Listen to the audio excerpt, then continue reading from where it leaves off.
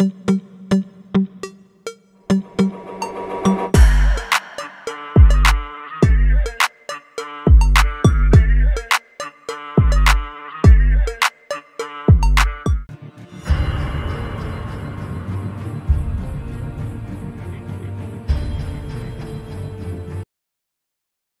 mantis memiliki warna cerah yang cantik dengan panjang tubuh 10-30 cm. Udang mantis memiliki nama ilmiahnya Odontodactylus scilarus. Udang ini memiliki nama mantis karena bentuk dan sifatnya mirip belalang sembah mantis. Hewan laut ini juga memiliki warna kulit yang sangat cerah dan cantik sehingga dianggap sebagai udang tercantik di lautan. Udang mantis dikenal dengan nama udang lipan, udang eiko, dan udang ronggeng. Udang mantis sendiri kurang populer di Indonesia namun cukup diminati oleh negara-negara Asia seperti Cina, Jepang, Thailand, dan Hong Kong. Udang cantik ini termasuk ordo Crustacea laut Stomatopoda, yang menghuni perairan tropis dan subtropis dari Samudra Hindia dan Pasifik antara Afrika Timur dan Hawaii. Terdapat lebih dari 450 spesies udang mantis yang tersebar di seluruh dunia. Udang ini umumnya dapat ditemukan di perairan pantai, namun terkadang ditemukan di kedalaman 1300 meter. Udang ini termasuk hewan karnivora, makanannya berupa ikan, kepiting, siput, cacing, udang lain, dan cumi-cumi. Udang ini disebut udang pembunuh karena dapat memangsa hewan dengan ukuran lima kali lebih besar dari tubuhnya.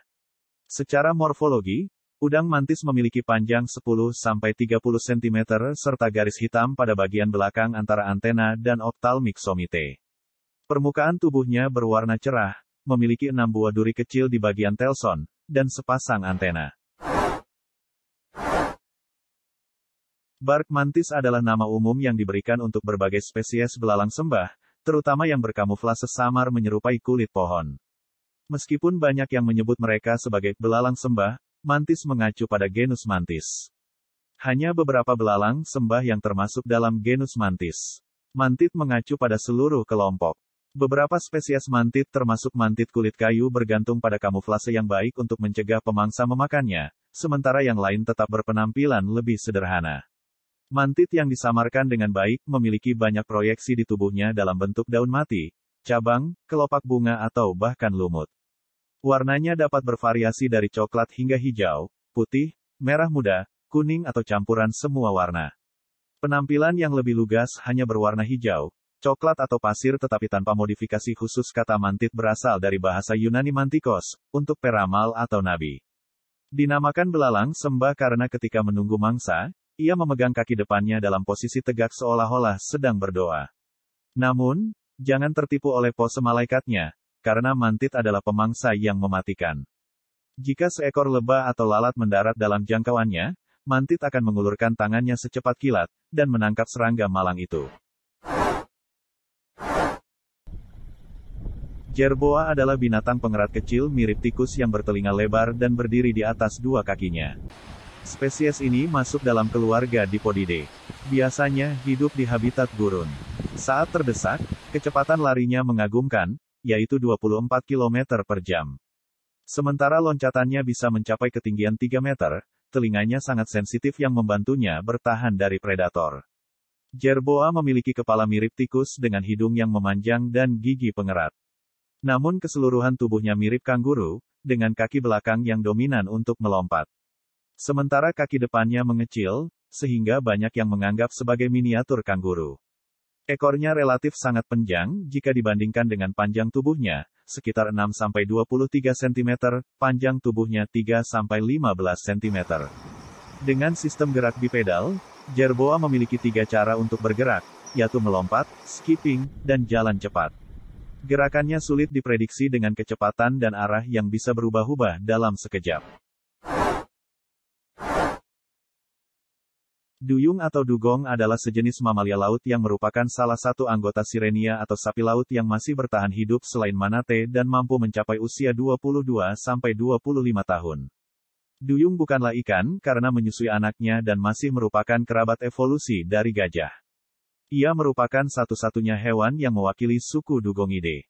Selain itu, ia juga merupakan satu-satunya lembu laut yang bisa ditemukan di kawasan perairan sekurang-kurangnya di 37 negara di wilayah Indo-Pasifik, walaupun kebanyakan duyung tinggal di kawasan timur Indonesia dan perairan utara Australia. Duyung atau dugong adalah satu-satunya mamalia laut herbivora atau maun pemakan dedaunan, dan semua spesies sapi laut hidup pada perairan segar dengan suhu air tertentu. Duyung sangat bergantung kepada rumput laut sebagai sumber makanan, sehingga penyebaran hewan ini terbatas pada kawasan pantai tempat ia dilahirkan. Hewan ini membutuhkan kawasan jelajah yang luas, perairan dangkal serta tenang, seperti di kawasan Teluk dan hutan bakau, Empat moncong hewan ini menghadap ke bawah agar dapat menjamah rumput laut yang tumbuh di dasar perairan. Duyung menjadi hewan buruan selama beribu-ribu tahun karena daging dan minyaknya. Kawasan penyebaran duyung semakin berkurangan, dan populasinya semakin menghampiri kepunahan.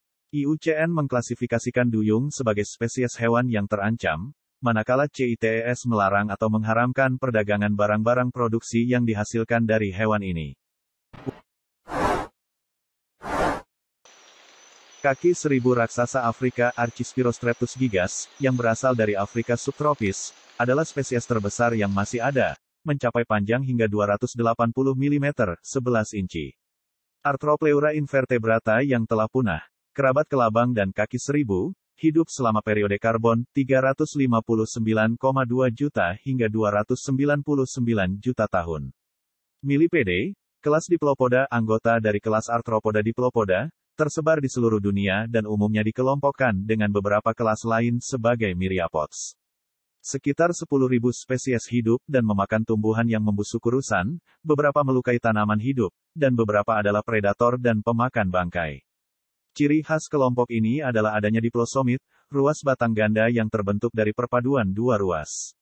Mereka memiliki sebanyak 200 pasang kaki, dua pasang pada setiap diplosomit kecuali segmen kepala pertama, yang tidak berkaki, dan tiga segmen berikutnya, yang masing-masing berisi sepasang kaki. Terima kasih telah menonton video ini dan tunggu video saya selanjutnya. Jangan lupa like, share, dan subscribe.